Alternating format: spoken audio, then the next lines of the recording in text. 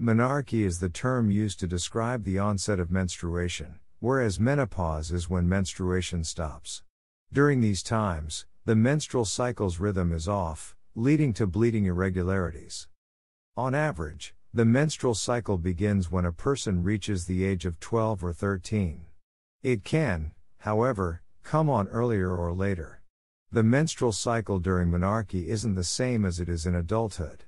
The cycle itself lasts between 21 and 45 days, whereas in adulthood, the average length is between 21 and 34 days. During the initial onset of menstruation, bleeding between periods can occur.